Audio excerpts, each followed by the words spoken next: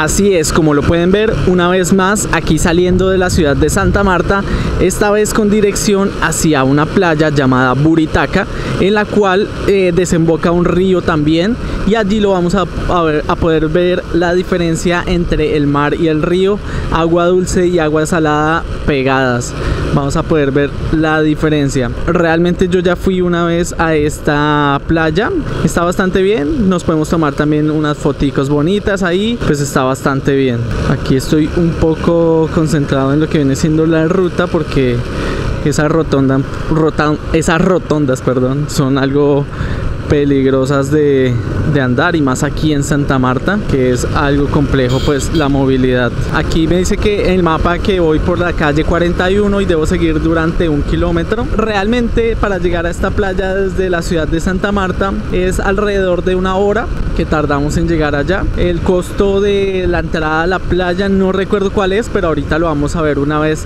estemos allí. Eh, nosotros vamos a comer o bueno vamos a almorzar fuera de, del lugar pues para no tener que pagar allí porque puede ser un poco más costoso. Lo debe ser claramente. Y adicionalmente pues eh, vamos a ver si en un rato vamos a Palomino. No estamos seguros si de ir hasta allá. Ah, son las 11 de la mañana así que está algo tarde como para ir. Pues ya veremos. Estos días ha estado haciendo mucho viento mucho mucho viento. Entonces me da igual algo de, de cosa pues estar conduciendo de esta manera con tanto viento incluso en este momento yo siento en ocasiones como que me jala la motocicleta al viento. Entonces sí siento el viento muy muy fuerte. Pero bueno son cosas a las que uno se va acostumbrando y se va adaptando para poder conducir aquí en la costa como tal. Aquí debo seguir por esta parte de la rotonda según lo que me dice el mapa es la calle 41 esta de acá.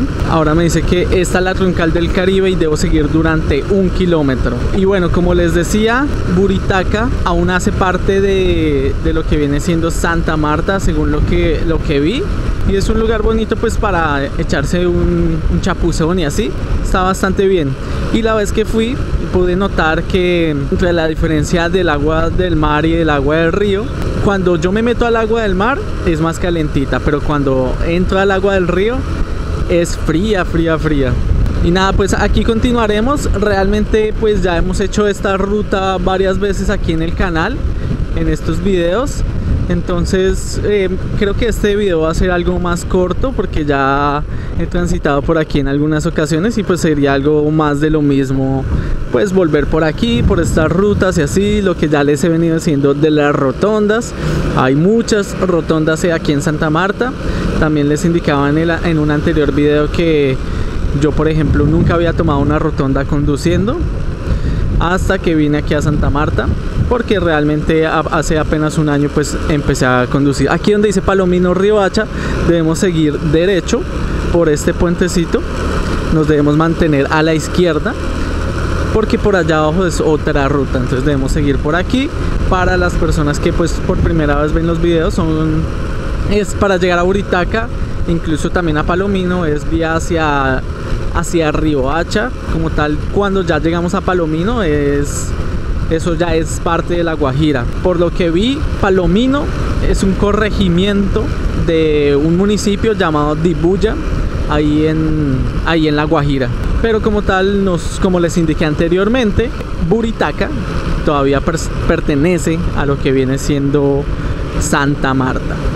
Y pues nada aquí ya nuevamente el tráfico en esta parte. Así que ya voy a parar todo eh, por aquí el video para saltar toda la parte aburrida del tráfico. Ya nos vemos. Aquí ya pasamos el tráfico podemos aumentar pues como tal la velocidad aquí. Pues solamente voy a unos 70 kilómetros por hora pero la vía está muy bien. Como lo he mencionado en anteriores videos en la costa por lo general lo que he visto las vías en carretera están en muy buen estado, bueno, no en excelente estado, pero sí por lo general están bastante bien para andar. No hay muchos huecos y pues se puede andar bastante bien a mi consideración. Aquí no voy muy rápido, voy a esta velocidad realmente porque el viento está muy fuerte, muy muy fuerte. Siento que me mueve muchísimo la moto.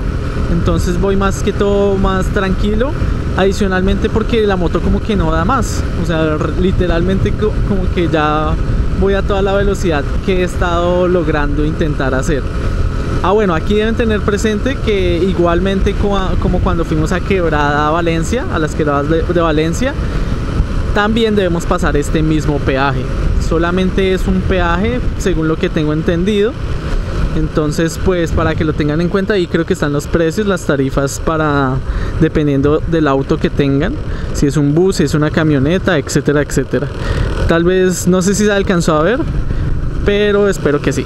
Si algo, pues ya dejaré como una captura ahí en el mismo video de ese pedacito que acabé de pasar para que puedan ver los precios. Y pues nada, aquí continuamos con la ruta después del peaje y pues pararé por aquí el video, continuaré un poquito más adelante. Sigo por aquí, vía hacia Buritaca.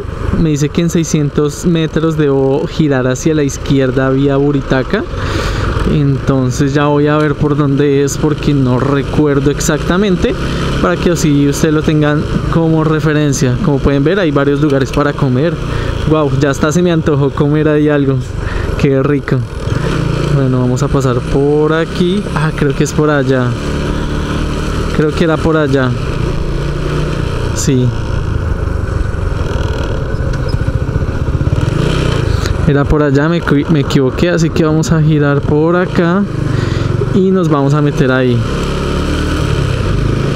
Que no les pase lo mismo que a mí, que me equivoqué y seguí derecho.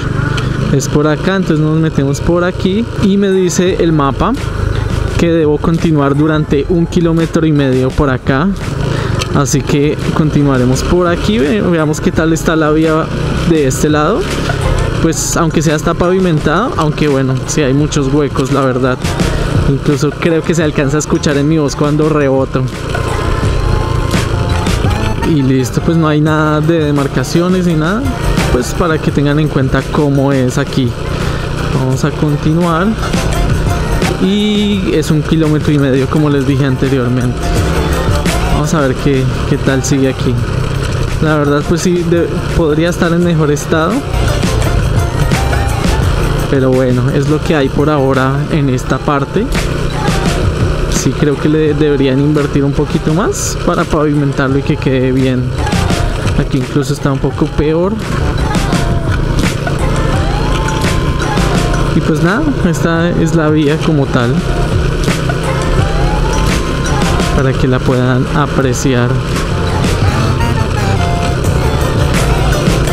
pues incluso está un poco mejor que vía a Bahía Concha porque para los que vieron en Bahía Concha pues sí es está totalmente destapada pero bueno aquí lo siento también un poquito peligroso porque hay como gravilla en el suelo no sé si realmente se llame así como esas rocas chiquitas.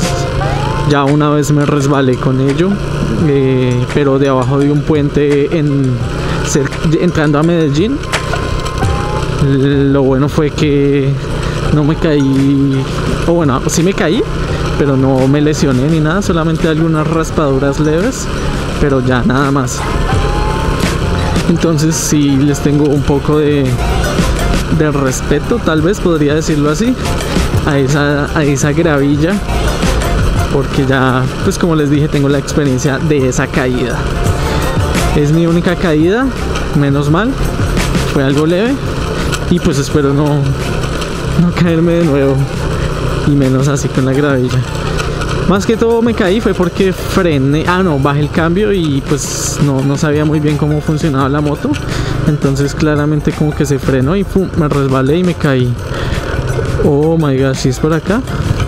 Zona de camping, dice ahí a 100 metros. La verdad no sé si es por acá porque no recuerdo haber pasado por aquí.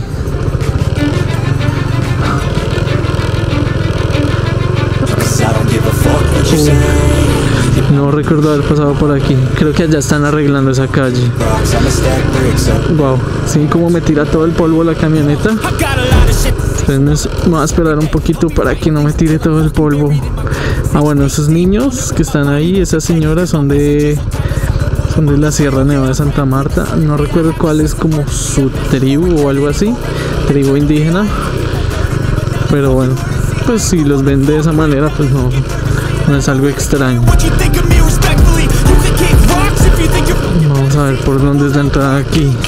Prácticamente aquí es un campo abierto, por lo que veo. Y aquí llegaríamos. Es que ahí están reparando. Vamos a ver, yo creo que es aquí, ¿no? Cabañas del río Buritaca. Aquí son las cabañas. Vamos a ver. Hola. Gracias, bien. ¿Vamos a ir a la playa? Buritaca. Sí. Aquí. Aquí cobramos lo que es el ingreso. ¿Cuánto cuesta? Tiene un costo de 3 mil por persona. Ok, Con parqueadero, vigilancia, salvavidas en playa y el ingreso en cada uno. ok. Mira, mi amor, el tiquetico conservarlo muy bien por algún inconveniente con el auto. Ay, con la moto, perdón. Ah, listo. Los tienes ahí. Muchas gracias. Bueno, como pudieron escuchar, tiene un costo de 3 mil pesos la entrada por persona. Esto incluye el parqueadero, las vigilancias de la motocicleta que esté acá. Me pareció un precio bastante asequible. Me pareció bastante bien. Y pues aquí estaríamos. Esto ya es como tal un pueblito. Y aquí dice parqueadero exclusivo para motos. Uy, ahí como me subo. Wow. Bueno, entonces la vamos a guardar por aquí.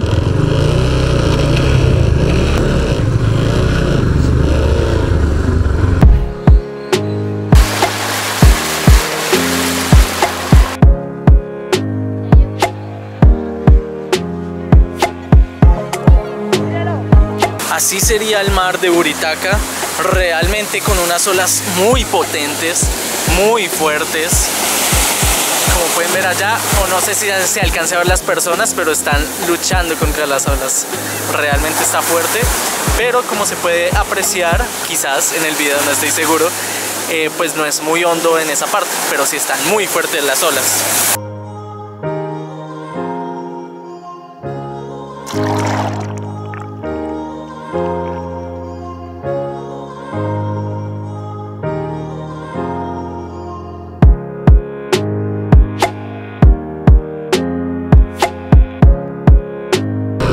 Una vez aquí ya en Buritaca, vamos a dirigirnos ahora a lo que es Palomino. Vamos a ir un momentico nomás a Palomino porque estamos cerquita. Pensábamos que estábamos más lejos, pero es solamente a media hora.